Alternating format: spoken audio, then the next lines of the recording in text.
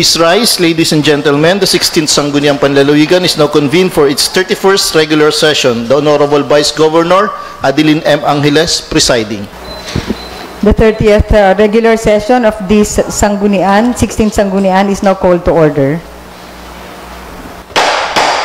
Requesting the Honorable Maki.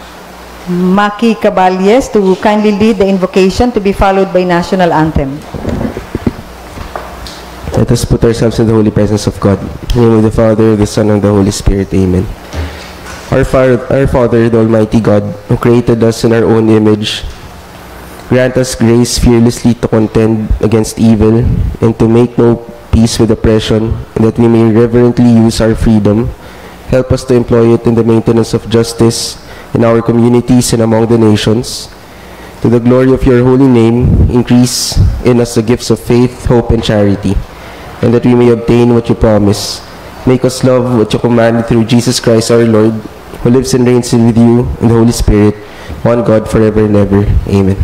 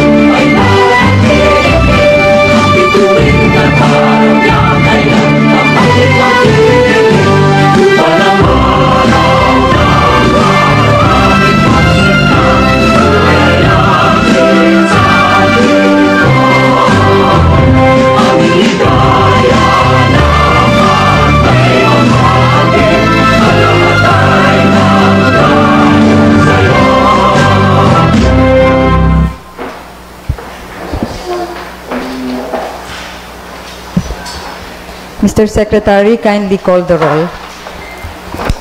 Hon- Honorable Mark Julius P. Caballes, Honorable Aurelio J. Leva III, Honorable Antonio L. Mangkukang III, Honorable Bernardine Opis Mercado, Honorable Melgabal Arayon Cabo, Honorable Mercedes Arihano, Honorable Danilo R. Red, Honorable Ismael D. Pilim, Honorable Jose Neril L. Manggol, Honorable Baldomero L. Limpiada, Honorable Lorena Rosales, Madam Presiding Officer, with the nine members of the board present, we have the necessary quorum for this morning's session. The chair then declares the presence of quorum. We can proceed with the uh, order of business, recognizing the floor leader, Honorable Madam Presiding Officer, for the reading and adoption of the minutes of the previous session dated March 10, 2023, I move that we defer- dispense with the reading of the minutes and consider the same as having been read without prejudice to the corrections and amendments and clarification from the members of the board. I so move. There's a motion to defer the uh, reading of the uh, March 10, 2023 minutes without prejudice to the necessary correction. Any objection? The chair hears none. We can proceed with the correction. Madam Presiding Officer, inviting members of the board who have some uh, corrections, amendments to the minutes of the previous session. Any corrections from the floor? Madam Presiding Officer, since no members of the board manifested corrections and uh, amendments to the minutes of the previous session, I move that we approve and adopt the minutes of the previous session dated March 3, March 10, 2023 during the 31st regular session. There's a motion from the Chair of the Committee on Rules for the adoption of the minutes of the March 10, 2023 session. Any objection? The Chair hears none. Thus, the motion is approved. The minutes of the March 10, 2023 session is now adopted. Madam Presiding Officer, for the matters arising from the minutes, last session, uh, March 10, 2023, we have adopted a number of uh, resolutions congratulating some uh, agencies and uh, employees of the provincial government for their recognition in the re- uh, regional level and national uh, level as well. So we have invited attorney IBM Leo Florido, President of IBP Marinduque Chapter, Miss Maria Sinaida Hamilia Abitria, Legal Aid Clerk of IBP Marinduque Chapter, Miss Alma C. Temtiman, Chief Administrative Officer and Head of the LMD Peso, as well as the staff of the LMD Peso, Mr. Mark Anthony Suleta, Peso Head of Torrijos, and Mr. Philip T. Alano, Head of Dole Marinduque. And for that, I move that we suspend the rules to accommodate our uh, guests for today's session. I so move. There is a motion to suspend the internal rules and procedures of the Sanggunian. Any objection? The chair hears none. The- Our internal rules is hereby suspended to accommodate our invited guest. Maybe, maybe know if our guests are already here. Our guest from LMD Peso, led by Ma'am Alma Timtiman, is already here. So, unahin na po natin ang ating mga katuwang from ML, eh, LMD Peso. Uh, Madam Presiding Officer, may this representation be recognized to read Proceed, Honorable the citation of the resolution. May I ask the following to come here inside. Ms. Alma C. Tintiman, Chief Administrative Officer Dito and Head of una. LMD Peso. Mr. Mark Anthony E. Soleta, Peso Head of uh, the Municipality of Torrijos, and Mr. Philip P. Alano, Head Dole Marinduque. Ah, Mr. Philip T. Alano is being represented by Sir Marjan Moreno. Okay, proceed, Honorable Leva. Republic of the Philippines, Province of Marinduque, Office of the Sangguniang Panlalawigan, excerpt from the minutes of the 30th regular session, 16 Sangguniang Panlalawigan, Sangguniang Panlalawigan Session Hall, March 10, 2023. Resolution number 503, series of 2023. Resolution expressing commendation and congratulations to the Provincial Livelihood, Manpower, and Public Employment Service Office, headed by Ms. Alma C. Timtiman, for bagging the following awards in the first Dole Peso Mimaropa Regional Year-End Performance Assessment for the year 2022 held in March 8 on March 8 to 9, 2023 at Tagaytay City, to wit, Regional First Public Employment Service Office for third to fifth class municip- provinces category. Regional Best Implementer for Special Projects for Employment of Student or SPES and the Best Ka Award. Whereas, the Department of Labor and Employment, Mimaropa, conducted the first PESO Regional Year-End Performance Assessment, or YEPA, for the year 2022 last May 8 to 9, March 8 to 9, at Summit Ridge, Tagaytay, Tagaytay City, aligned with its objective of evaluating and highlighting the major contributions of the different pesos in the region, particularly in the delivery of DOLI programs and services. Whereas, during the said activity, the provincial government of Marinduque's LMD Peso received various awards and recognition for its exemplary performance, particularly in the implementation of SPES, GIP, TUPAD, and employment facilitation services, among others, which greatly benefited the province constituents and which has also contributed in the upskilling and reskilling of the labor force, expanding access to employment service, increased income earning ability, and achieving a sustainable means of managing the labor resources.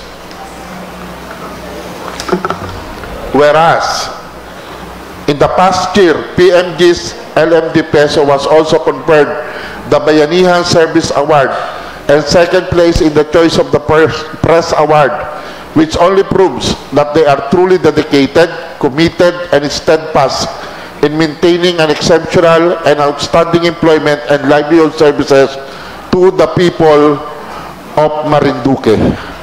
Whereas, those invaluable accomplishments by the LMD, Marinduque's LMD peso are great manifestation of true and genuine public service which makes them worthy of such awards and recognition.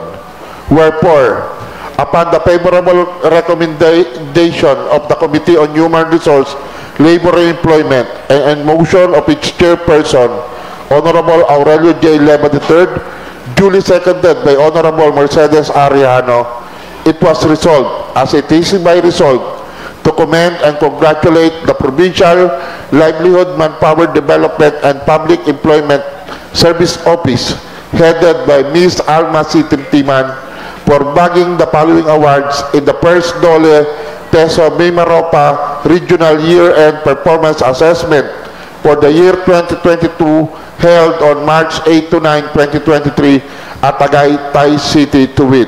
Regional Best Public Employment Service Office for 3rd to 5th class province category.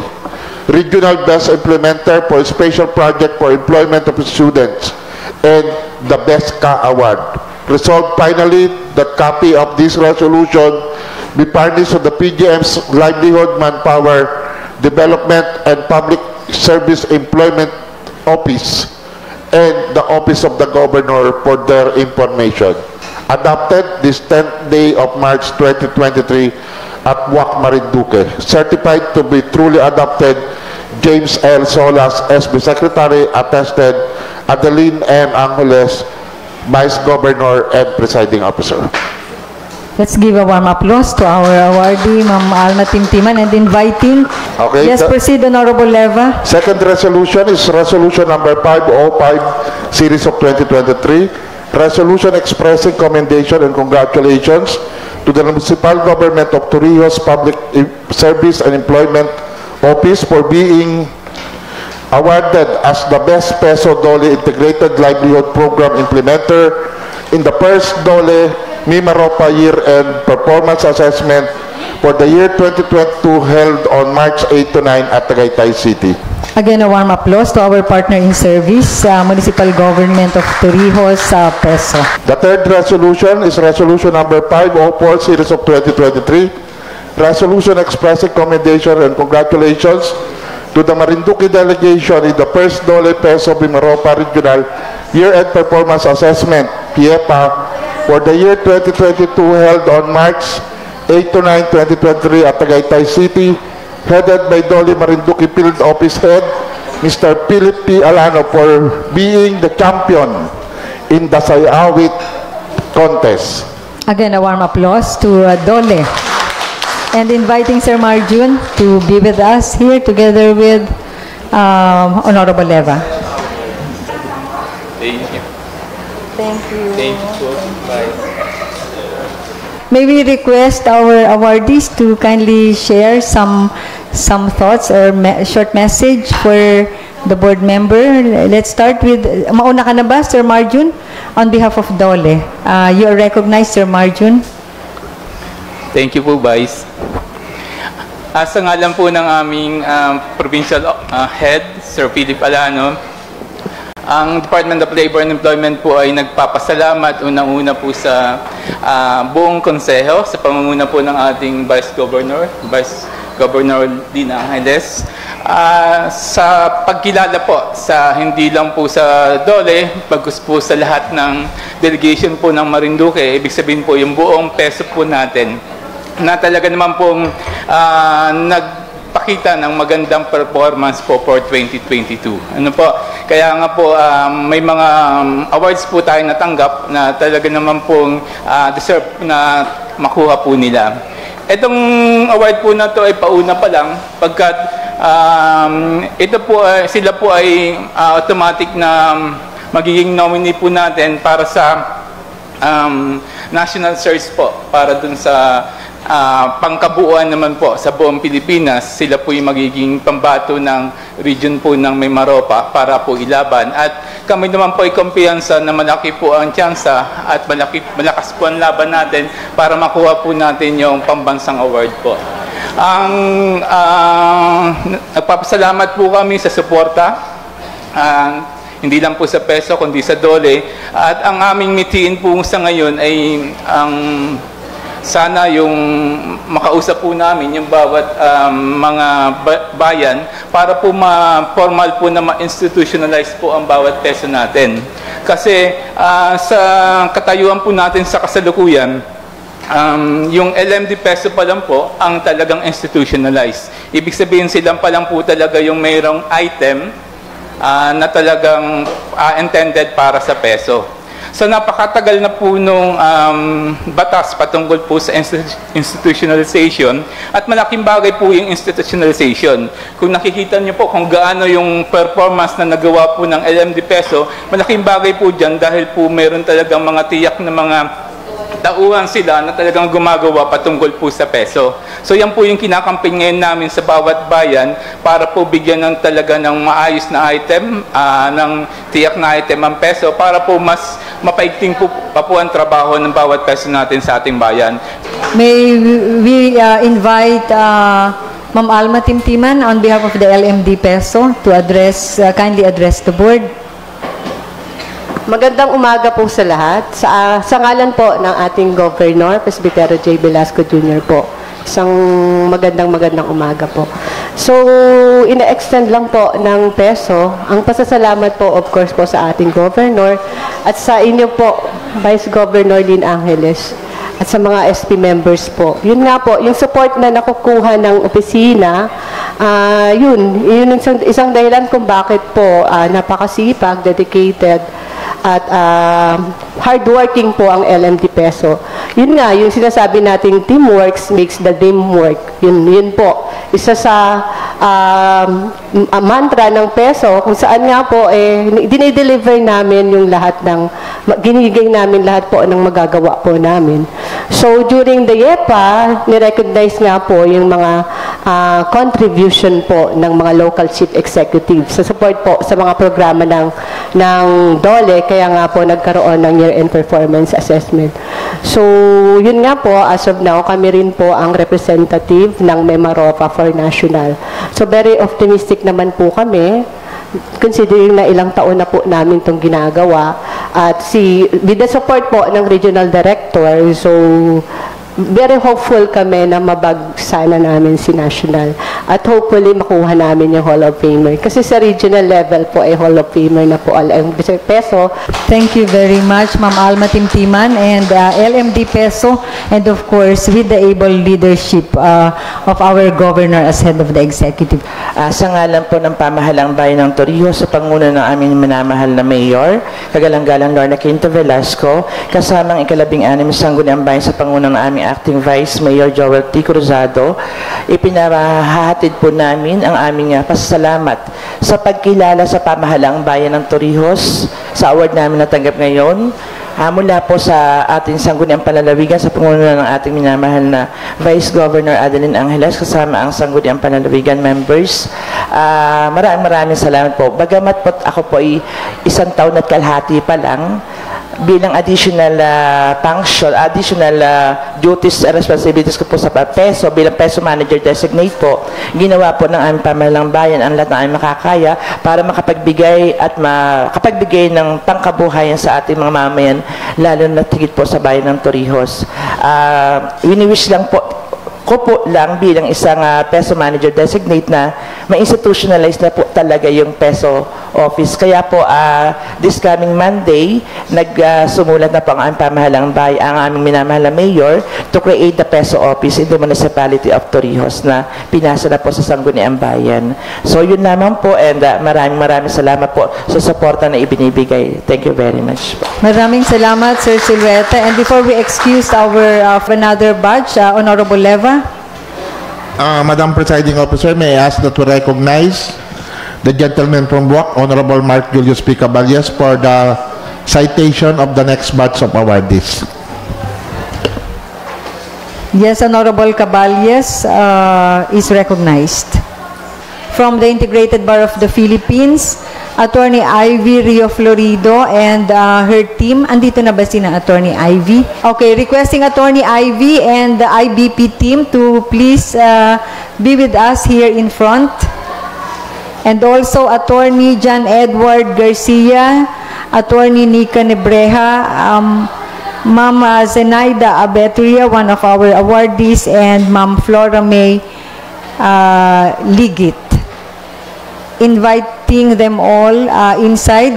Paumanhin ng konti na talagang medyo limited ang ating space but ano, maganda na rin para intimate. Yes, Attorney Ivy Rio Florido and the IBP team. Mama Abetria also and um, Ma'am Ligit, Attorney Nika and Attorney Jan. Yes, uh, Honorable Caballes, you may proceed with the resolution. Thank you po, uh, to our Honorable Presiding Officer. Uh, resolution number 5 series, Resolution number 5, 510 series of 2023, a resolution expressing commendation and congratulations to IBP Marinduque chapter for its historic and exemplary showing during the Integrated Bar of the Philippines 2023 National Convention of Lawyers held in Davao City. Authored by yours truly, Honorable Attorney Mark Julius P. Caballes. Whereas, the Integrated Bar of the Philippines is the official, whereas IBP Marinduque chapter and its members garnered an, unpre- an unprecedented number of awards and commendations during the Integrated Bar of the Philippines 2023 National Convention of Lawyers held on February 16 to 18, 2023 at the SMX Convention Center, Davao City, to wit, Number one, Best Chapter Award, Category C. Number two, Most, most Outstanding Overall Legal Aid Program Award. Number three, Best Practices Award for Free Legal Assistance to the K5 Project. Number four, Lifetime Achievement Award for Honorable Governor Presbyterio J. Velasco Jr. Number five, Governor's Choice, Governor's Choice Most Outstanding Legal Aid Lawyer, Attorney Ivy M. Rio Florido. Number six, Most Outstanding Legal Aid Clerk for Category C, Ms. Zenaida J. Abetria. Number seven, Plaque of Appreciation for Invaluable Service to Attorney Ivy M. Rio Florido. Again, a warm applause to our partners from the Integrated Bar of the Philippines, led by Attorney Ivy Rio Florida and represented now by the President and uh, her team, Attorney Jan uh, Edward Garcia Fernandez, Attorney Nika Nebreja, uh, and also uh, Ma'am Abetria and Ma'am Ligit. So, may, uh, we invite uh, Attorney Ivy and uh, Attorney Garcia and Attorney Nebreja to please come uh, dito po sa taas together with the proponent, also a member of the IBP, Attorney Maki Caballes. Kita mo naman Salamat ng marami and congratulations, Attorney Ivy and IBP team. Bakal na.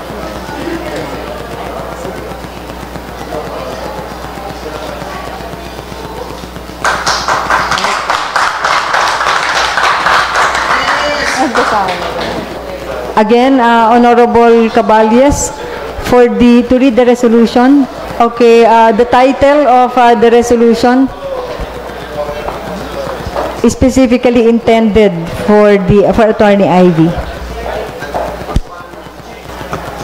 Resolution number 508 series of 2023. Resolution expressing commendation and congratulations to Attorney IBM Rio Florido for bagging several prestigious awards and leading IBP Marindu- Marinduque chapter in its historic and exp- exemplary showing during the Integrated Bar of the Philippines 2023 National Convention of Lawyers held in Davao City, authored by Honorable Attorney Mark Julius P. Caballes. Again, a warm applause to the superwoman of uh, Integrated Bar of the Philippines Marinduque chapter. Attorney Ivy, may we again invite you to be with us dito po together with uh, uh, Bocal Caballes.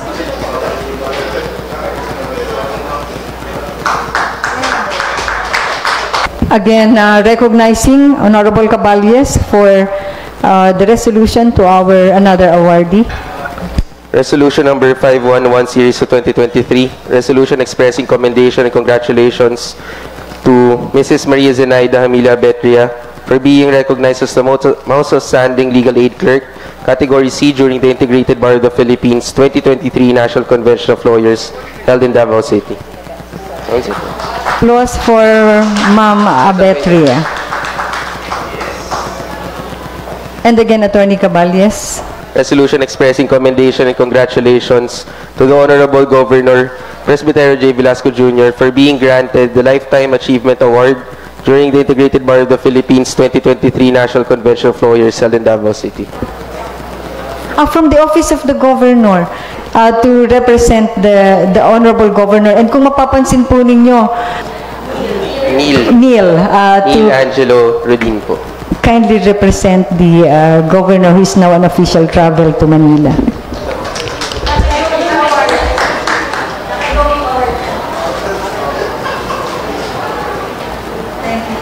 And uh, at the same time, uh, requesting now uh, on behalf of the IBP, our super girl ng IBP Marinduque, Attorney uh, Iberia Florido.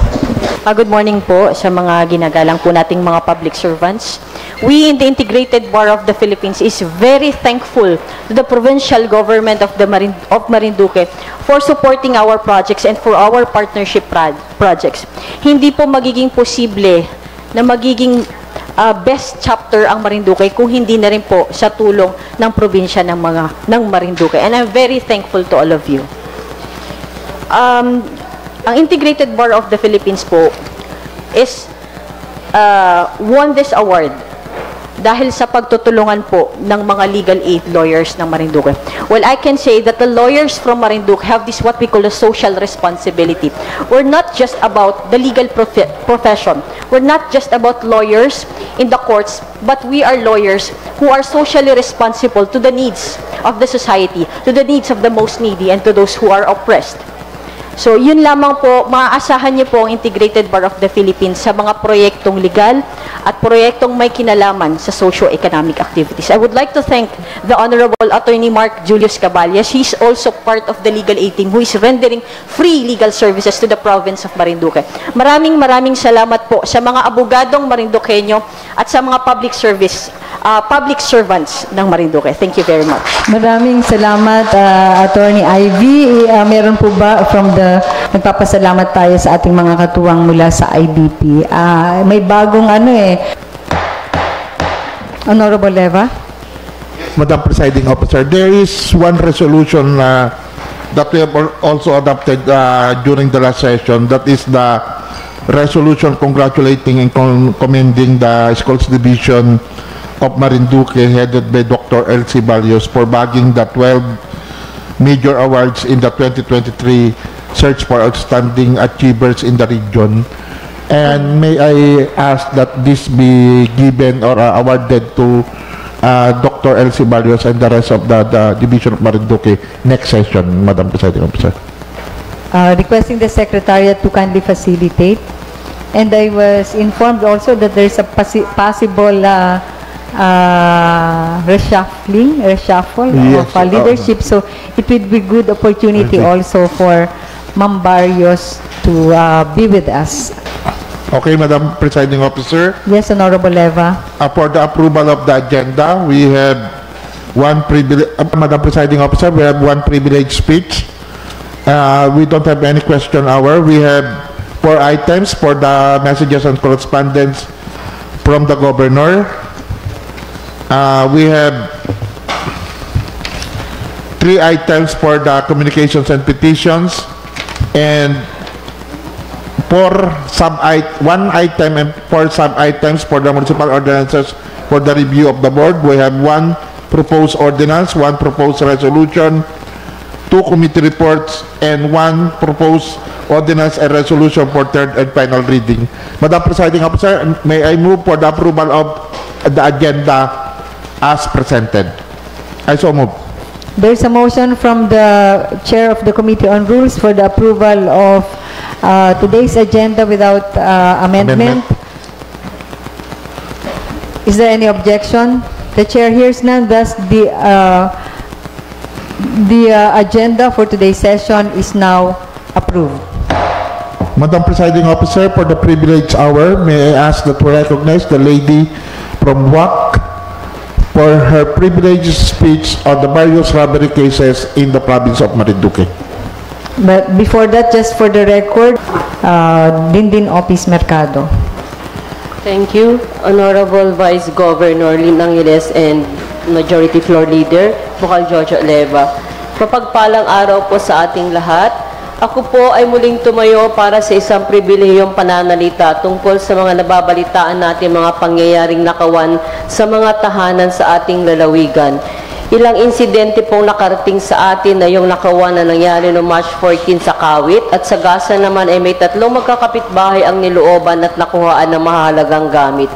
Kaugnay po nito ay humingi po tayo ng datos sa PNP ukol sa mga robbery theft na nangyayari to validate all the reports. At sa nakuha nating datos ay simula noong January to March 2023 ay apat na kaso ang naitala. March 14, robbery, Barangay Kawit. Uh, January 23, robbery, Barangay Tabi. February 3, theft, Barangay Sumanga. February 2, Barangay Maharlika, Santa Cruz. Kaya nais ko po sana mabigyan linaw tayo na bakit maraming nababalita na kaso ng nakawan pero hindi naman nakatala sa ating kapulisan. Paano po nila ito magagawa na aksyon kung wala silang complainant o nagrireklamo? Siguro po ay panahon na muli na natin palalahanan ng ating mga mamamayan na mag-report sila sa police station at sa mga barangay para sa agarang aksyon. At sa ating mga barangay officials ay palalahanan natin na paigtingin po natin muli na maging mapagmatsyag tayo sa mga taong pumapasok sa mga barangay na kinasasakupan lalo na kung hindi pamilyar ang taong nakikita na gumagala sa barangay. Dahil dito ay nais ko pong i-recommenda na ma-refer ito sa Committee on Peace and Order para sa agarang solusyon at maipatawag po ang ating mga kap- kapulisan na siyang kaagapay sa usaping kapayapaan at kaligtasan sa ating lugar. Marami pong salamat.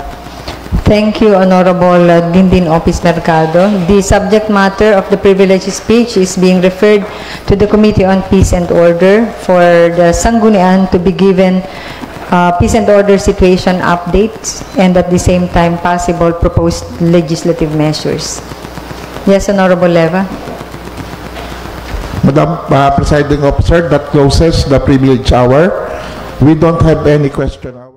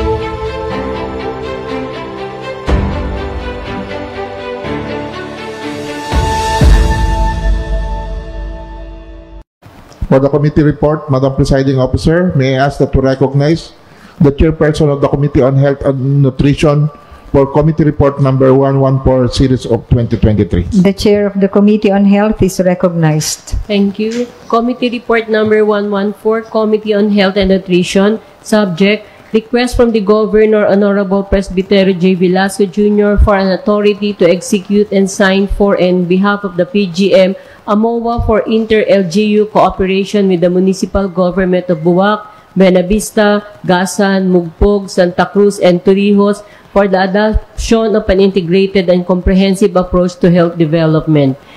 And also institutionalization of Bakuna Champions to strengthen the vaccination program of the provincial government. The committee hereby recommends to the board that a resolution authorizing the Honorable Governor Presbyterio J. Velasco Jr. to execute and sign for and behalf of the PGM AMOA for inter-LGU cooperation with the municipal government of Buwak, Buenavista, Gasan, Mugbog, Santa Cruz, and Torrijos for the adoption of integrated and com- comprehensive approach to health development be adopted. Maraming salamat, kagalang-galang uh, Dindin Office Mercado. Thank you po. The, the chair is clarified. Meron ba po bang ibang paglilinaw? Kung wala na po, ano po ang uh, mungkahi ng reporting committee chair? I move for the adoption and approval of committee report number 114 and it will be calendar to the business for the day. There's a motion from the uh, Committee on Health uh, Chair, Honorable Mercado, for the adoption of Committee Report Number 114 as rendered. Any objection? The Chair hears none. Thus, Committee Report Number 114 of the Committee on Health and Nutrition is now adopted. And the uh, proposed resolution being proposed is being transferred to business for the day, included in the business for the day. Madam Presiding Officer, may I ask that to recognize the chairperson of the committee on appropriation for committee report number 115, 2023. Yes, the, the chair of the committee on appropriation is recognized. Committee Report Number 115-2023, Committee on Appropriations. Wherefore, the committee hereby recommends for the adoption of the following resolutions. Number one, resolution, resolution appropriating the total amount of 4,492,764 pesos for various MOE accounts under the Torrijos Municipal Hospital. Number two, resolution appropriating the total amount of 6.1 million pesos for various accounts under the Santa Cruz District Hospital. Number three, resolution appropriating the amount of 120,000 intended for the payment of the terminal leave benefits of Ms. Marilu V. Andrino, farmer worker, one under the Provincial Veterinary Office. Four, resolution appropriating the total amount of 500,000 for various accounts under the Provincial Nutrition Office. The request for a counterpart fund for the mobile kitchen was not given due course with an instruction from the PNO to coordinate with the PDRMO for, for, for funding. Number five, resolution appropriating the total amount under of 900,000 for various MOE accounts under the Office of the Provincial Administrator. Number six, a resolution appropriating the amount of 240,000 under the Provincial Governor's Office intended for the rehabilitation and reforestation of timberland or forest land and mangrove areas. Number seven, resolution appropriating the total amount of 1 million for various MOE accounts under the Provincial Treasurer Office. Number eight, a resolution appropriating the total amount of 1,045,000 pesos in the Office of the LMD Peso. Number nine, resolution appropriating the total amount of 371,450 pesos for various MOE and capital uh, outlay accounts under the Office of the Provincial Warden. Number 10, resolution appropriating the total amount of 500,000 for various MOE under the PPDO. Therefore, the committee hereby recommends for the adoption of resolution granting honorarium to in the amount of 10,000 pesos per month to Superintendent Harold R. Castillo, Provincial Fire Marshal, Bureau of Fire Protections, Protection subject to the applicable laws, rules, and regulations, and appropriating necessary funds for the purpose effective January 2023 of a resolution authorizing the Honorable Governor to the Provincial Accountant for the reversion of various dormant accounts of creditors or suppliers which remained unclaimed and non-moving for the more than three years. Of a resolution declaring Appropriation Ordinance Number 4 Series of 2022 authorizing the CY 2023 General Fund Annual Budget of the Municipality of Torrijos, Marinduque as operative subject to the conditions, comments, and findings of the Provincial Budget Officer. Maraming salamat, Honorable Caballes. Meron po bang ilang paglilinaw mula sa kapulungan? Kung wala po, ano po ang uh, anais ng reporting committee chair? Uh, Madam, Chais, uh, Madam Presiding Officer, I move for the adoption of Committee Report number 115-2023 and that uh, the resolutions forming as an offshoot of said committee report be transferred to business for the day. There's a motion from the Chair of the Committee on Appropriation for the adoption of Committee Report Number 115, 2023 as rendered. Any objection? The chair hears none. Thus, committee report number 115-2023 of the Committee on Appropriations is now adopted and the corresponding resolutions as offshoots of the adopted committee report be included in the business for the day. Yes, Honorable Leva. Madam Presiding Officer, the next committee report is the committee report of the Committee on Education. The Chair of the Committee on Education, Honorable Red, is recognized. What is the recommendation of uh, the committee through the Chair with regard to the proposed MOA with the STI and uh, St. Mary's College? Uh, Madam Chair, Yes, Honorable Red. uh, with the indul- indulgence of the members of the Committee on Education, the representation will, uh, will render a committee report in today's session.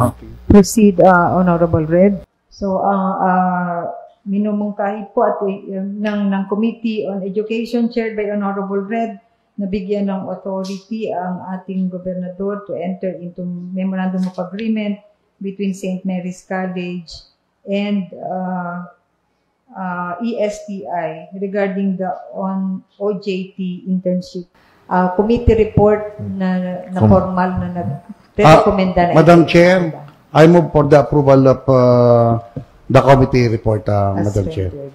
Meron pong mungkahi para sa approval ng committee report as rend and recommendation as rendered by the chair. Meron po bang uh, tumututol? Kung wala po, the committee report as rendered by Honorable Red uh, with uh, favorable recommendation is now adopted and uh, meron din po bang kahilingan na ito ay maisama sa ating hong uh, uh, aaprubahan sa business for the day? Minumungkahi rin po ba, Honorable Red, Ah, ito ay mapag-usapan natin sa business for Yes, Madam? Chair. Uh, I recommend uh, that it will be transferred to business of the day, Madam Chair. At uh, minumungkahi rin po, nire-recommenda rin ho na ito ay mapag-usapan sa sa business for the day for final disposition. Meron po bang pagtutol? Kung wala po, the committee report rendered by the Chair of the Committee on Education is now adopted and those two items will now be included in the business for the day for final disposition.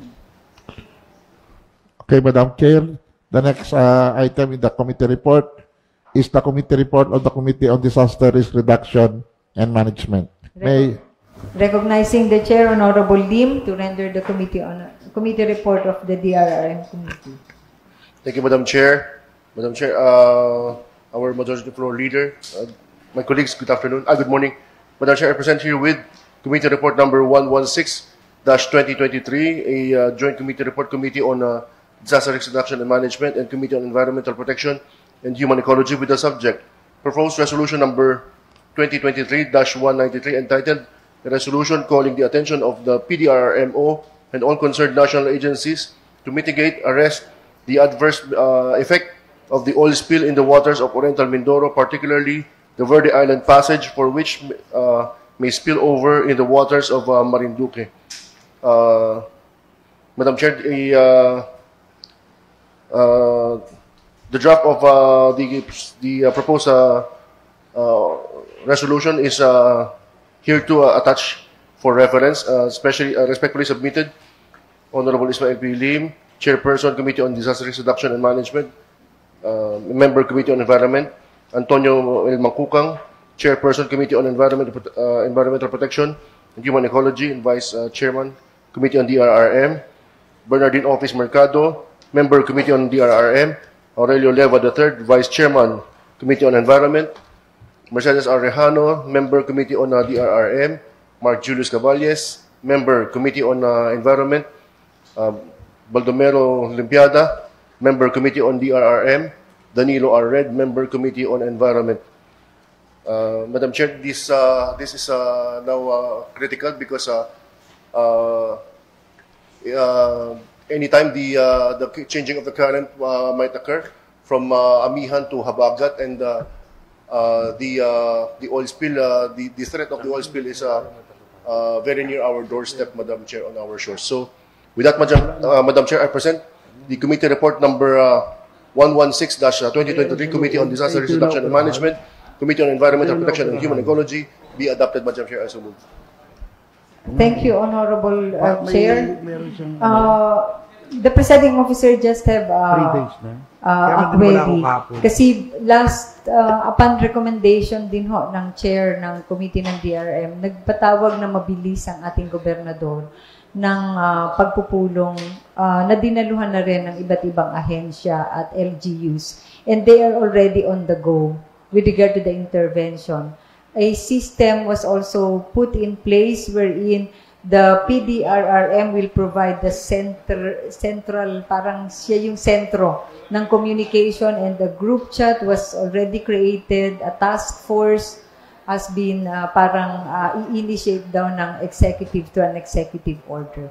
So, uh, uh, with due respect to the proponent, uh, posible ba na ito ay na mag- magkaroon ng konting revision sa title?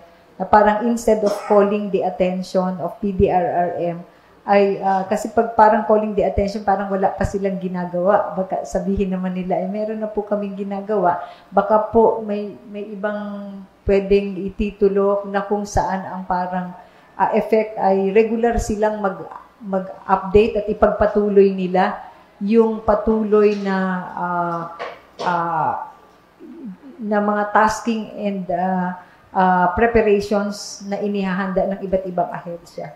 Tingin ko po ay ah, para lang po sa akin baka magkaroon can it be ah, a resolution Requesting. Requesting the, the PDRM and concerned agencies to provide regular update and to continue the uh, implementation of all necessary preparations. Okay, Siguro Madam po. Chair, uh, because uh, as of uh, uh, as of last week, the the uh, the uh, the oil spill is uh, according to the PDRR is still it is uh, going on a different direction uh, towards the south uh, from uh, Oriental Mindoro towards uh, Antique to, towards the south. But uh, but uh, anytime, Madam Chair, the currents might shift uh, because of uh, from uh, from because of the uh, ending of uh, the Amihan and uh, the entry of the Habagat season. So, uh, Madam Chair, uh, action from uh, and uh, action and uh, call for uh, action from the Sangguniang Panlalawigan has not uh, has not been sent yet uh, to date. So, but uh, uh, but uh, since uh, uh, we are represented there on the meeting, so yes, Madam Chair, uh, we could. Uh, I guess uh, we could uh, we could make some amendments on the title. Sige It's po. just that Ah. uh, it is now critical, Madam Chair. Yeah, ah kailangan lang po talaga lang na may karoon ng ah, yung yung ma-ensure yung ah, facilitative at saka yung coordinated ah, na pagtugon dun sa problema. Ah, may initial po na mga tasking sila at ah, preparation like sino yung regular na ma- mag-update like the Philippine Coast Guard tapos yung mga LGUs po ay nagkaroon na sila ng commitments kasi po even in the forms of and the DTI for instance uh, and DOLE with regard to the yung pati nga po yung pagagather ng mga bunot etc. Meron na po silang mga tasking at yung pong mga MDRRM ay gumagalaw na rin po uh, uh, in coordination sa mga coastal. Kaya nga po nung nagkaroon ng kulay itim na buhangin dito sa may sa may uh, riverside ay akala ng iba ay meron. Mabilis rin po yung paggalaw nila kasi parang may initial tasking po sila kung sino ang magbabalidate. Pero tama po kayo that on the part of the Sangguniang Panlalawigan ay kailangang ma, ma, ma, ma-ensure din na, tulo, na coordinated po yung response at tuloy-tuloy ah ah, sig- siguro po ito lang pong siguro yung calling the attention lang po yung medyo may may konti akong discomfort because with every preparation that they are already doing baka ang dating sa kanila ay hindi natin alam yung kanila pong mga initial na na mga ginagawa So, Madam Chair, uh, I submit, Madam Chair, let us uh, let us revise the uh, title. Uh, it's uh, instead we make it a resolution requesting for an update from the PDRMO and all the concerned national agencies. Uh, Madam Chair. regular update could uh, I I uh, I agree with that uh, ano po uh, I submit, Madam Chair. Thank you uh, honorable uh, Lim yes honorable Encabo Oh, Maraming salamat po, Madam Chair. And also, uh, also, is it possible that eh, during that the update will be the, include also, uh, Mr. Chair, yung what are the equipments needed for the possible uh, response. Okay, so that the Sangguniang Bayan can also, uh, Sangguniang Palalawigan may help uh, uh, our uh, PDRMO kung ano mga kailangang equipment. Kasi during our seminar uh, last week, pinag-uusapan po ng mga kasama naming taga Mindoro yung the, the impact talaga. And one of the ang kanilang concern is yung lack, lack of equipment po. Uh, we may ask the ating uh, head ng PDRMO kung ano po yung mga equipment na posibleng kailangan natin to to mitigate yung ano po yung yung impact ng ano disaster. Yun po kasi ang napapag-usapan during our seminar, me- medyo malaki po talaga yung ano yung magiging uh, uh, ano po sa bayan ng ano ng uh, lalawigan ng Mindoro. And one concern po nila eh wala po sila equipment uh, na to ano so, siguro i-update po, po rin sana ang sangguniang palalawigan kung ano mga equipment na halos uh, may i-provide po natin. Thank, Perhaps, Madam, Madam thank you, thank you, Mr. Chair. Uh, Thank you, Honorable uh, Lim. Wha- What is your re- response? Perhaps, Madam Chair, uh, the uh, that would be included in the update of uh, of uh, of the PDRR, and uh, and uh, that is why, Madam Chair, we are calling the attention of uh, the national uh, agencies. Because uh, we were informed that uh, even the region has uh, no capability or equipment uh, necessary for for uh, this uh, this disaster. The, the what is required basically is the boom. The the the boom the, which is which the regional office DRR doesn't have. So we call on the, the national agencies and the, the Philippine Coast Guard and uh, even our uh, loc- uh, our uh, LGUs the, the barangays uh, we, we have uh, uh, we have uh, these plans to to come up with the the basic very cheap uh, the kogon and dalahib and rice husk and the coconut husk that uh, may be uh, helpful and uh, which is uh, proven and uh, there has been a previous study on this and uh, it is being done in some on some parts of uh, uh, Oriental Mindoro, Madam Chair, in the south. Okay. So that Madam Chair, uh, we- So, we- dalawa na po yung hihilingin, regular updates and their timely recommendations. Sa, uh, related recommendations. Di ba? So, uh, okay po. So, ang magiging title na po ng resolution po ninyo ay parang request pa rin sa different national agencies and same, uh, authorities through the PDRRM. Tama po? Yes. uh, to provide regular updates and timely uh, recommendations. Tama rin po yun. Including, lalo, lalo na po yung mga recommendations that will necessitate legislative measure. Baka may mga funding or appropriation that may be necessary as early as pa, as uh, possible uh, for the procurement of whatever uh, needed materials. Yan po, Madam So- Chair, yung ano po, yan po yung mga lub, eh, ano yung mga kugon, tapos yung mga talahib, inaalubid yan, kasi may medyo makapal-kapal po. Yun ang Oo. pong pinaka, the cheapest na solution to the cheapest uh, uh, mitigating uh, uh, Measure. measure to regards to this, the cheapest. Okay po. Thank you, uh, Honorable Lim. So what is now the pleasure of the reporting committee chair? Madam Chair, I, uh, I move that the committee report, committee report number 116-2023, Committee on Disaster Risk Reduction Management, and uh, Committee on Environmental Protection and Human Ecology be adopted, Madam Chair, With, with amendment. with amendments. With amendment. Uh, Julie, uh, there is a motion for the adoption of the committee report uh, as amended, rendered by the chair of the committee on DRM, Honorable Lim. Any second? Julie seconded by Honorable uh, uh, Mangkukang. Any objection? The chair hears none. Thus, uh, the committee report number 116-2023 uh, is now, as amended, is now adopted and the corresponding resolution, uh, Moving further, Madam Chair, that the uh, proposed resolution stipulated in the committee report be transferred to business of the day. And also the proposed resolution uh, with the amended draft uh, be, be included in the business for the day. Thank you, Madam Chair.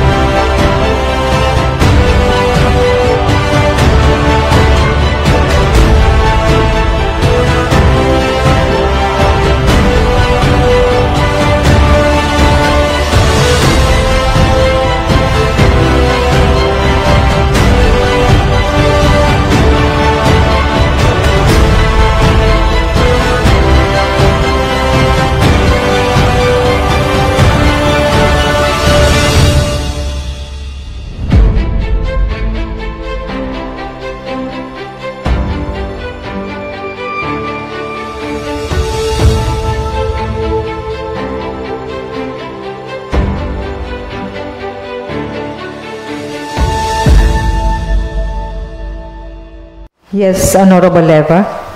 Madam Presiding Officer, we are now in the calendar of business. We don't have any unfinished business for the business for the day. The first item in the business for the day is the accompanying resolution of the committee report of the Committee on Education. Thank you, Honorable Leva. Recognizing the Chair uh, of uh, Committee on Education, Honorable Danny Red, to make the formal uh, motion regarding the uh, proposed resolution of authority to Governor Velasco with regard to the MOA. Uh, Madam Chair, I formally moves uh, granting authority to the provincial government of Marinduque, represented by Governor Presbitero Velasco Jr., enter into a memorandum of agreement with St. Mary's College of Marinduque for the on-the-job internship program. I so move, Madam Presiding Officer. There's a motion from Honorable Danny Red, duly seconded by Honorable Leva, Honorable Mangkukang, Honorable uh, Rehano, for the adoption of a resolution. Uh, any any objection? The chair hears none. Thus, the motion is approved. The resolution granting authority to Honorable Governor Presbitero Velasco Jr. to enter into a memorandum of agreement on behalf of the province with the St. Mary's College of Marinduque for the on-the-job or internship program implementation is now approved. Another resolution, yes, Honorable Danny Red, Chair of the Committee on Education. Moving, um, Madam Chair, uh, I formally moves uh, granting authority to the provincial government of Marinduque, represented by Govern Governor Presbitero Velasco Jr., enter into a memorandum of agreement with Educational Systems Technological Institute of Marinduque. Uh, be, uh, be approved, uh, Madam Presiding Officer. Any So- second? Duly seconded by Honorable Caballes, Honorable Leva, uh, Honorable Mangkukang, Manggol, and uh, uh, Honorable Rehano. Any objection? The chair hears none, thus the motion is approved. The resolution granting authority to Honorable Governor Presbitero Velasco Jr.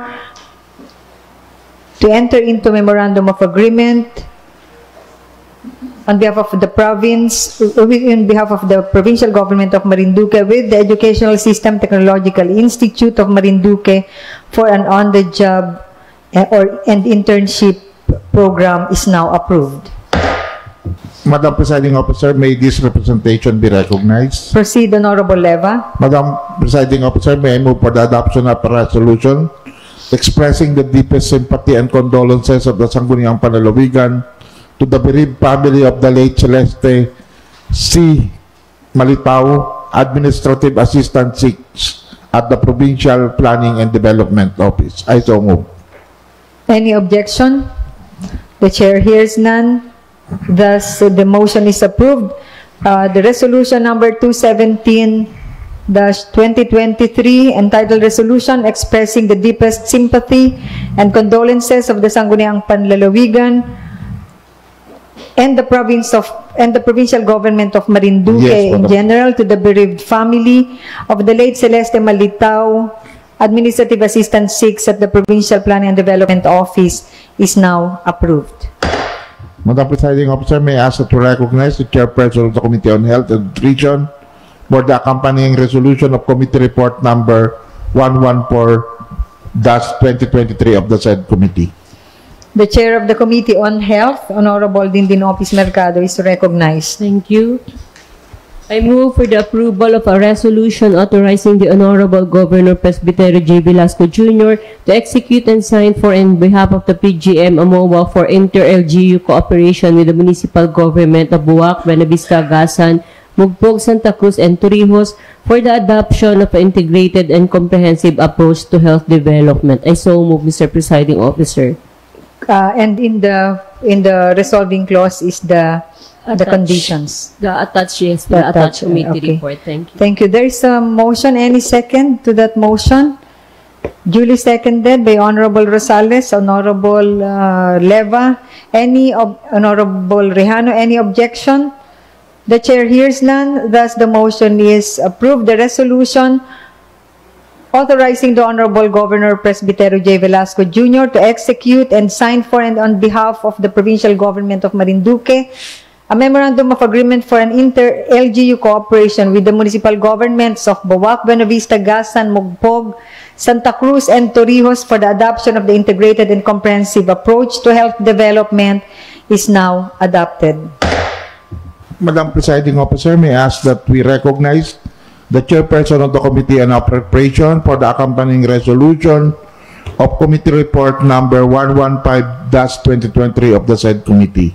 The Honorable Chair of the Committee on Appropriation, Honorable Caballes, is recognized. Madam Chairperson, uh, Madam Presiding Officer, this representation as the chairperson of the Committee on Appropriation formally moves for an omnibus, mo- omnibus motion for uh, the adoption of, our- of the following resolutions. Number one, a resolution appropriating the total amount of 4,492,764 pesos for various MOE accounts under the Torrijos Municipal Hospital. Number two, a resolution appropriating the total amount of 6,100,000 pesos for various accounts under the Santa Cruz District Hospital. Number three, a resolution appropriating the amount of 120,000 intended for the payment of terminal leave benefits of Miss Marilu B. Andrino, farm worker 1 under the Provincial Veterinary Office. Number four, a resolution appropriating the total amount of 500,000 for various accounts under the Provincial Nutrition Office.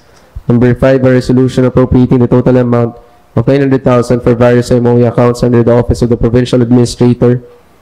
Number six, a resolution appropriating the amount of 240,000 under the Provincial Governor's Office intended for the rehabilitation or deforestation of timberland, or forest land, and mangrove areas. Number seven, a resolution appropriating the total amount of 1 million pesos for various MOE accounts under the Provincial Treasurer Office. Number eight, a resolution appropriating the total amount of 1,045,000 in the Office of the LMD Peso. Number nine, a resolution appropriating the total amount of 371,450 pesos for various MOE and capital outlay accounts under the Office of the Provincial Warden. And number 10, a resolution appropriating the total amount of 500,000 for various MOE accounts. There's a motion for the adoption of 10 uh, SP resolutions providing supplemental appropriation to various offices. Any second to the motion? Duly seconded by Honorable Leva, Honorable Rosales, Honorable Rehano. Any objection? The chair hears none. Thus, the omnibus motion is uh, approved. The following resolutions are now uh, approved. Resolution appropriating 4,492,764 thousand for the Torrijos Municipal Hospital, six appropriating six million one hundred thousand for various accounts in the Santa Cruz District Hospital, appropriating one hundred twenty thousand pesos for the payment of terminal leave benefits of Miss Adrino, resolution appropriating 500,000 pesos for the Philippine uh, Provincial Nutrition Office, appropriating 900,000 pesos for the Office of the Provincial Administrator, appropriating 240,000 pesos for the Governor's Office, one mil- appropriating 1 million pesos for the Provincial Treasurer's Office, appropriating 1,045,000 pesos for the LMD Peso, appropriating 371,450,000 pesos for the Provincial Warden, and appropriating 500,000 pesos for the Provincial Planning and Development Office. The 10 resolutions, as, re- as mentioned, are now approved. And the presiding officer, uh, again, as the chairperson of the Committee on Appropriations, I move for the approval and or the adoption of a resolution granting honorarium to to Superintendent Her- Herald R. Castillo, Provincial Fire Marshal, Bureau of Fire Protection in the amount of 10,000 pesos per month subject to applicable rules, laws, rules, and regulations and appropriating necessary funds for that purpose, effective January 20, 2023. Any any second to the motion? Any duly seconded by Honorable Leva? Any objection? The chair hears none. Thus, the resolution granting honorarium in the amount of 10,000 pesos per month to Superintendent Harold Castillo, Provincial Fire Marshal, Bureau of Fire Protection, subject to applicable laws, rules, and regulations, and appropriating necessary funds for the purpose effective January 2023 is now approved. Madam Presiding Yes, Officer, Honorable Leva. incidental motion with the just concluded, appro- uh, just approved uh, resolution. It is a time and honored, uh, time honored tradition in the Sangguniang uh, Panlalawigan that we invite the head of the national government agency to lay down his plans, programs, and projects and activities uh, of his uh, department. So may we ask that we invite uh, said uh, fire, provincial fire marshal on March 31 Okay, instructing our good secretary to kindly make the necessary during the invitation question hour. to uh, Superintendent Castillo for during the question hour in the next session. March 31 is his availability, Madam Chair. Noted. Okay. Uh, kindly, kindly uh, facilitate, uh, Sir James. Thank you.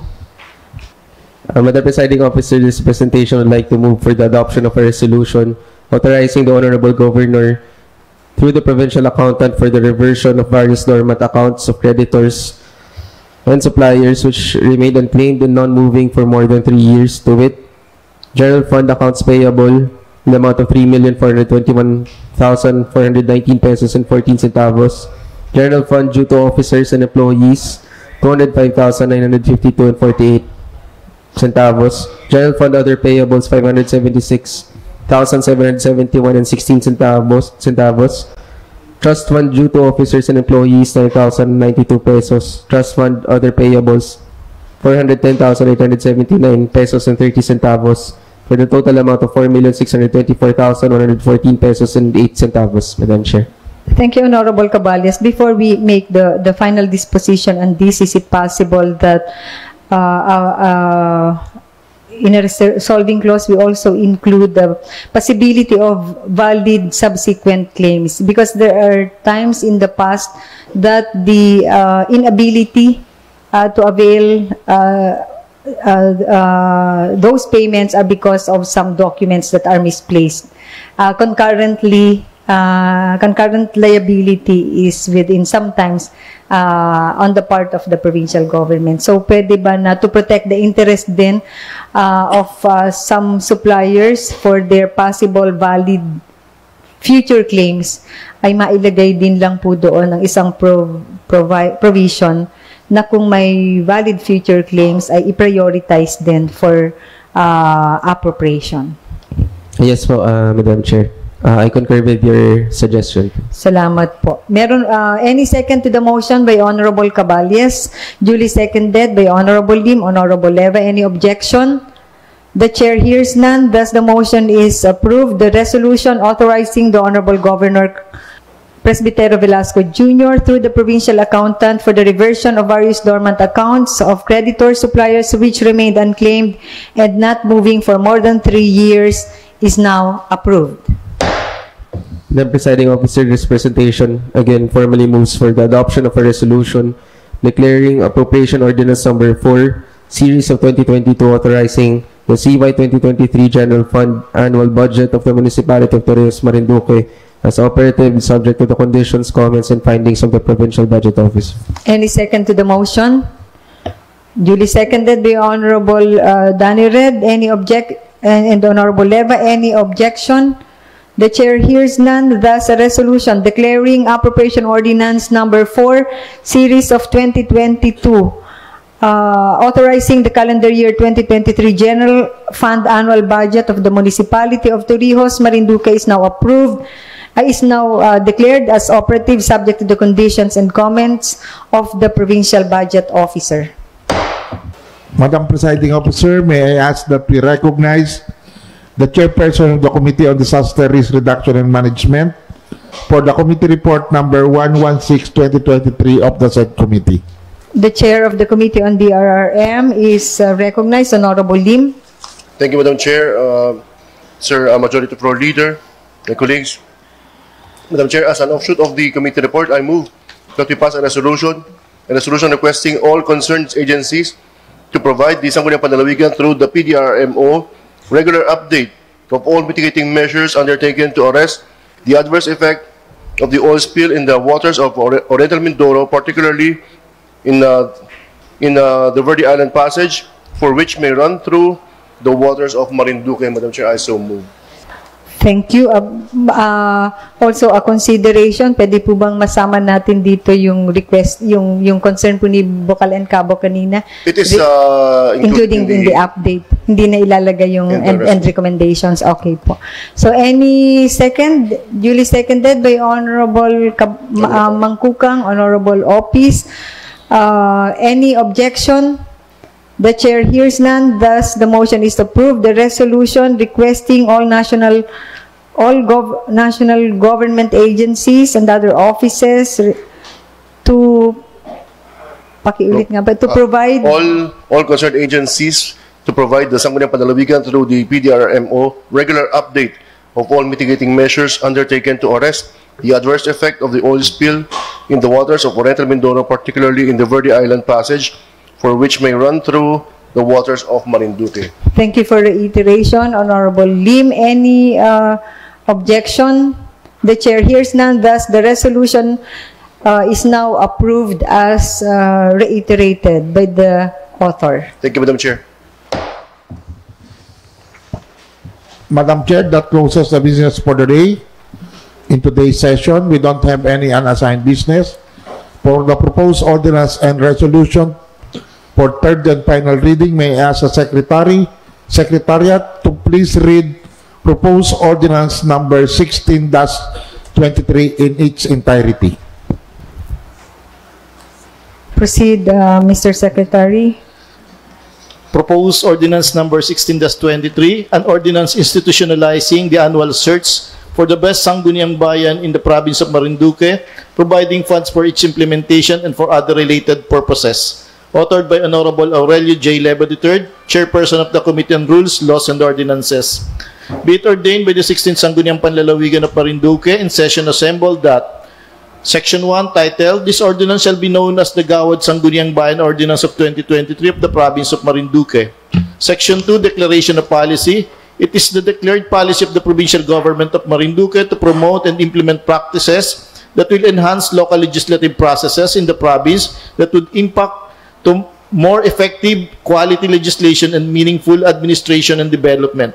Section 3, General Objective, This ordinance accords official recognition to the Sangguniang Bayan that excels in the enactment of ordinances or re- resolutions that ultimately contribute to the attainment of desirable socio-economic and environmental outcomes. Section 4, Specific Objectives. This ordinance was enacted for the following specific objectives. Letter A, to bestow official recognition to innovations and distinctive pra- practices in the local legislation.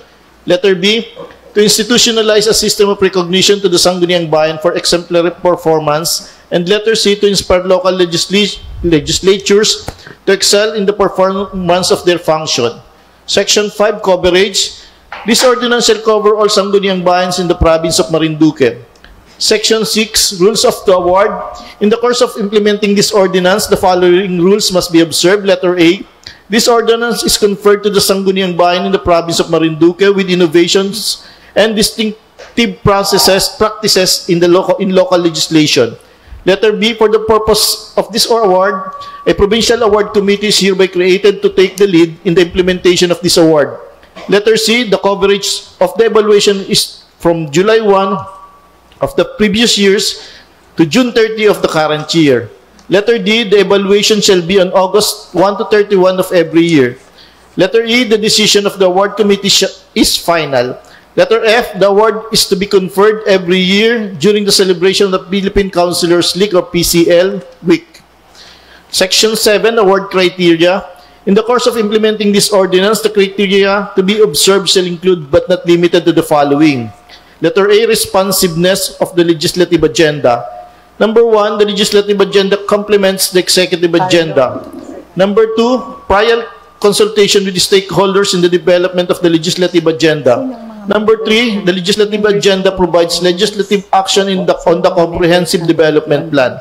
Number four, the legislative agenda promotes and supports provincial, regional, and national priority development trust. Letter B, availability of legislative documents. Number one, all ordinances and resolutions from July 1 of the preceding year to, June 30 of the current year are indexed by subject, by authors and sponsors, and by date of approval. Number two, hard or, or electronic copies of ordinances and resolutions can be retrieved or accessed on inquiry within a reasonable period. Number three, Journal of Sangguniang Proceedings from July 1 of the preceding year to June 30 of the current year is available. Number four, minutes of session are duly signed by all members present or certified by the secretary, the Sangguniang Secretary. Number five, committee reports duly signed by majority of all members. Number six, mechanism for communication for communicating local legislation are available. Letter C, effectiveness of performance of Sangguniang. Number one, ordinances and resolutions enacted, enacted are aligned with the legislative agenda and pillars of the Philippine Development Plan 2023 to 2028, which are as follows. Matatag, maginhawa at panatag na buhay. Economic and social transformation of, for a prosperous, inclusive, and resilient society. Letter A, develop and protect capa- capabilities of individual families. Letter I, promote, number one, promote human and social development. Letter B, transform production sectors to generate more quality jobs and competitive products. Letter C, practice good governance and improve bureaucratic efficiency. Letter D, ensure peace and security and enhance administrative justice. Letter E, ensure macroeconomic stability and expand inclusive and innovative finance. Letter F, expand and upgrade infrastructure. Letter G, accelerate climate action and strengthen disaster resilience. Letter A, enhancing social fabric, malasakit. Letter B, inequality, reducing transformation, pagbabago. And letter C, increase, increasing growth potential or patuloy na pag-unlad. Number two, ordinances and resolutions enacted should be within the prescribed powers of the eh, Sangguniang Bayan to enact. There should be no declared invalid and ultra vires either in part or in whole. Number three, regular session conducted with complete attendance of the Sangguniang members. Letter D, efficiency of performance of Sangguniang. Number Roman numerals, Roman numeral number one, process and procedures. In number one, internal rules of procedure contain minimum requirements, organization of Sangguniang and election of officers, creation of special and standing committees, order and calendar of business, legislative process, parliamentary procedures, and discipline of members. Number two, notices of special session are disseminated at least 24 hours before the scheduled session. Number three, notices of committee hearings are received by concerned parties in accordance with the rules of procedure of the Sangguniang. Number four, institutionalized, institutionalized feedback mechanism. Number five, people's participation in the legislative process. Number two, quality of office setup and staff complement. Number one, session shall session hall has appropriate fixture and equipment for for the presiding officer, Sangguniang members, the secretariat, and the public. Number two, legislative officers of the of the of the individual members have appropriate fixtures and equipment. Number three, each Sangguniang Bayan should have a, sufficient legislative support staff and other than the Sangguniang Secretary. Number four, an office for the Sangguniang Secretary is present. Letter E, legislative citation and award. Number one, awards given to Sangguniang. Number two, regional, national, or international recognition are accorded to the Sangguniang. Number three, awards given to the to the LGU by reason of Sangguniang Ordinance or Resolution. Number four, international recognition according to the LGU by reason of Sangguniang Ordinance and Resolution. Letter F, capacity development. Number one, for LGU, initiated capacity building for Sangguniang members and the staff. Number two, participation of Sangguniang members in staff in capability building activities conducted by other government or non-government organization. Section 8, awards and prizes. The awards to be given are as follows.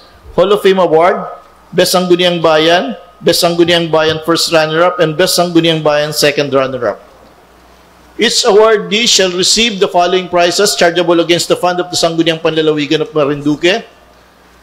Best Sangguniang Bayan, a cash prize of 300,000 and a trophy. Best Sangguniang Bayan, first runner-up, a cash prize of 200,000 and a trophy. Best Sangguniang Bayan, second runner-up, a cash prize of 100,000 pesos and a trophy. The Hall of Fame Award shall be conferred to the Sangguniang Bayan who has declared as the best Sangguniang Bayan for three consecutive years. Section 9, Individual Awards. There may be individual awards for the most outstanding presiding officer and Sangguniang Bayan member. The said award shall be decided by the Provincial Award Committee by providing for its guidelines and criteria. Section 10, Evaluation Procedure. In the course of implementing this ordinance, the following must be observed. Number one, the Provincial Award Committee or the PAC evaluates the Sangguniang of all municipalities within the province of Marinduque using the prescribed performance evaluation form which shall form which shall be part of this ordinance as Annex A. The Sangguniang to the Office of the Secretary to the Sangguniang shall prepare the required mode of verification or MOBs per cr- criteria with labels of efficiency and the smooth flow of evaluation. The list of mode of verification or MOB shall form part of this ordinance as Annex B. The PAC then accomplishes a consolidated perfor- performance evaluation form which shall form part of this ordinance as Annex C and determine the top performing Sangguniang. Number four, only Sanggunians with overall performance rating not lower than 80 are qualified to the award. Number five, in case of tie, the PAC shall further evaluate the assessment of res- of the assessment of reso- assessment of results giving consideration on innovative legislation. Section 11, the Provincial Award Committee and Secretariat. The Provincial Awards Committee is hereby created to implement the Marinduque Legislative Award to be composed of the following: the chairperson, the vice governor, vice chairperson will be the provincial director of the DALG, members, the secretary to the Sangguniang, the provincial planning and development officer, the provincial administrator, the chairperson of the Committee on Rules, Laws, and Ordinance, and the representative from the accredited CSO to be determined by the PAC chairperson. The committee shall carry out the following functions. Letter A, initiate and coordinate activities necessary for the successful implementation of the award. Letter B, formulate the specific guidelines for the efficient and effective implementation of this ordinance. Letter C, conduct assessment to all Sangguning Bayan in the province of Marinduque. And letter D, determine the top performing Sanggunian. Likewise, a secretariat shall be created which, which primary task is to provide technical support to the committee to be composed of the following. Head, Secretary to the Sangguniang Panlalawigan, members, two staff from the Secretar SP Secretariat, additional members if necessary to be determined by the PAC. The Secretariat shall have the following duties and function. Number one, assist the committee in the conduct of assessment. Number two, provide technical assistance in the performance of administrative and technical tasks of the committee. And number three, perform such other tasks as may be, as may be directed by the committee. Section 12, Budgetary Appropriation. The Sangguniang Panlalawigan shall allocate 1 million annually for the implementation of this ordinance. Section 13, separability clause, if for any reason or any section of the provision or provision of this ordinance is declared invalid, or unconstitutional by a competent court, the remaining sections or provision not affected thereby shall continue to be in full force and effect.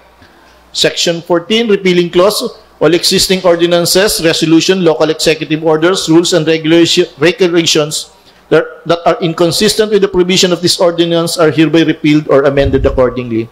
Section 15, effectivity, this ordinance shall take effect immediately after publication.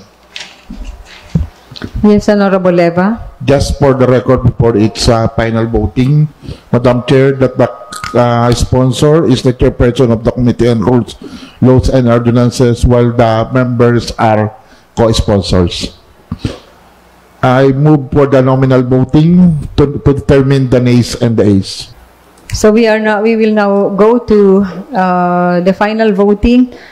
Uh, For those in favor of approving the proposed ordinance number 16-23 as read, please say yes. Nominal. Okay.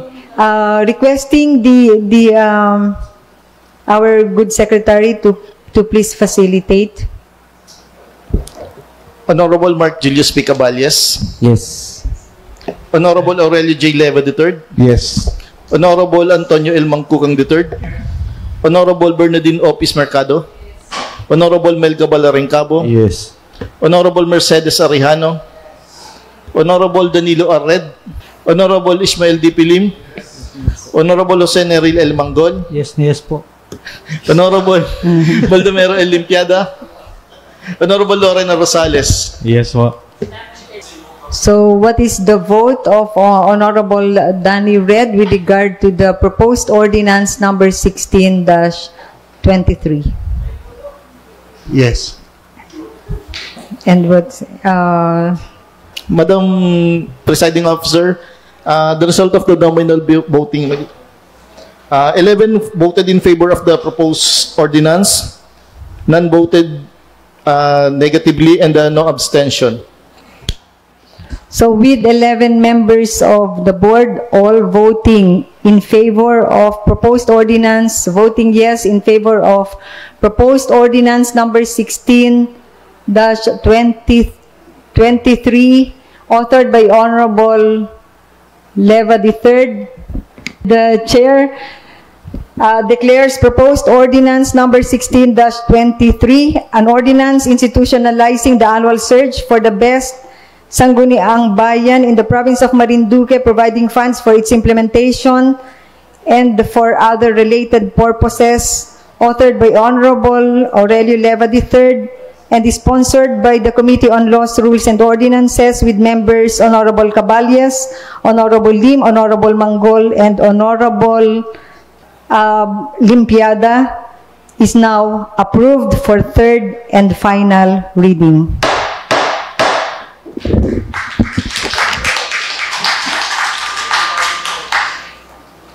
Madam Presiding Officer, that closes our proposed ordinance.